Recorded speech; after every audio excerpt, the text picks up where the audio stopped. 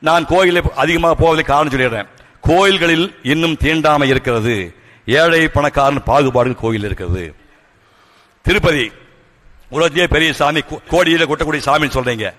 காட்பாடி இறங்கின ஒரு பக்தன் நாற்பத்தி எட்டு நாள் விரதம் இருந்து காட்பாடி இறங்குற ஒருத்தன் நடந்து போறான் வெறும் பச்சை தண்ணி குடிச்சிட்டு நடந்து போறான் மேல போனா கோயிலை சுத்தி விசேஷ நாள்ல பாம்பு கூடகளை படுத்துக்கிற மாதிரி எட்டு சுத்து சு- கியூ நிக்குது.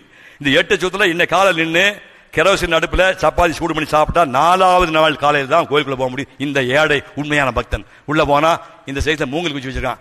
ஜரிகண்டி ஜரிகண்டி ஜரிகண்டி ஜரிகண்டி அடிச்சு அனுப்புறானுங்க. ஆனால் ஒரு கோடீஸ்வரன் பொண்டாட்டிக்கு தெரியாம ஒரு கொஞ்சம் குமரையை கூட்டிட்டு போய் கெஸ்ட் ஹவுஸ் தங்கிட்டு விடிய வரைக்கும் தண்ணி அடிச்சுட்டு சந்தோஷமா இருந்துட்டு குளிக்காமல் காலை நாலு மணிக்கு போனால் கும்பம் வைத்து மரியாதை செய்கிறார்கள்.